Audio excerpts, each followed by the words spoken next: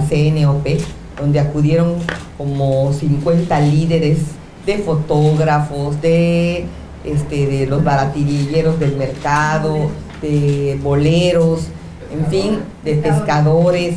Se comprometieron también con nosotros a aportarnos cinco de cada uno de los gremios que van a ser atendidos.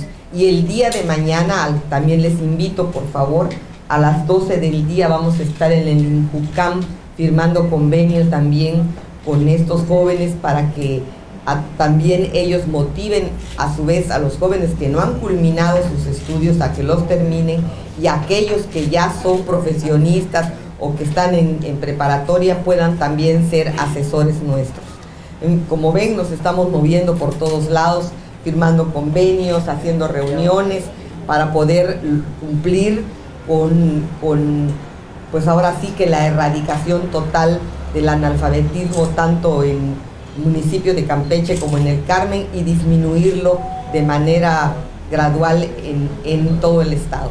Bueno, en, la primera jornada fueron mil personas que nos pidieron de incorporación, eh, no se logró la meta, se llegaron como a 800 personas, están siendo atendidas, eh, algunas ya salieron de su rezago educativo, no te puedo decir cuántos porque son cada tres meses esto, pero lo que sí, las que, las que se inscribieron siguen siendo atendidas. Pues eh, la, tenemos la meta de incorporar a dos personas nuevas, nuevecitas, a reincorporar, o sea, aquellas que dejaron de estudiar en algún momento, 874, a que presenten el módulo de la palabra para que digan que ya están alfabetizados 334 y, lograr que hayan concluido su nivel de cualquiera que este sea 896 personas todo el estado. por supuesto que de Campeche y Carmen siempre, por el, por el monto de la gente, siempre Campeche y Carmen ocupan los primeros lugares en incorporación. En analfabetismo, en analfabetismo cerca de 44 mil personas.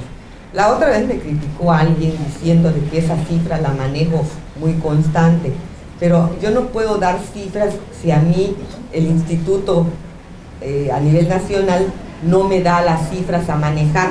Entonces, eh, hemos atendido, tenemos ahorita en atención a más de 2.000 personas, eh, en atención, casi, casi cerca de 3.000 personas en atención en analfabetismo. Ya salieron 500 de esas personas. Pero yo no puedo bajar los números si a mí los índices no me los da el propio INEA a nivel nacional para manejar.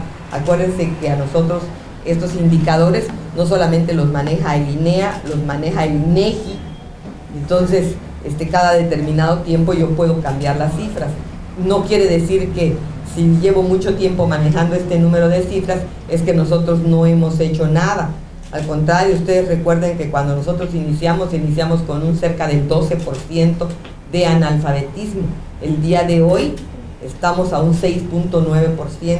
Entonces las tasas de analfabetismo han bajado bastante, pero aún estamos por arriba de la media y por eso nuestro interés que se reduzcan todavía más, sobre todo que podemos dejar en este sexenio de licenciado Fernando Ortega libres de analfabetismo a dos municipios los más importantes, Campeche y Carmen.